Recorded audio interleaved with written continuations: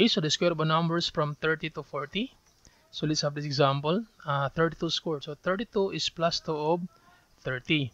Now, you multiply this number by 6. 6 because 3 times 2 or your first term times your exponent. So 3 times 2, that's 6. So that's 12. Then plus 90. 90 because 30 squared equals 900.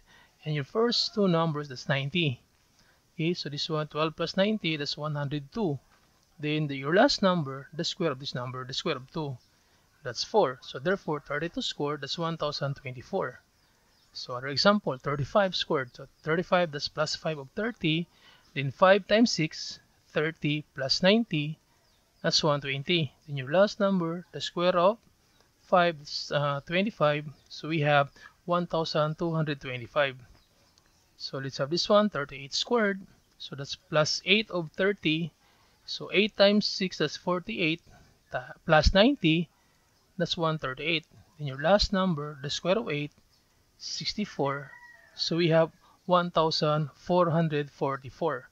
So this is how, or the other method in finding the square of 30 to 40.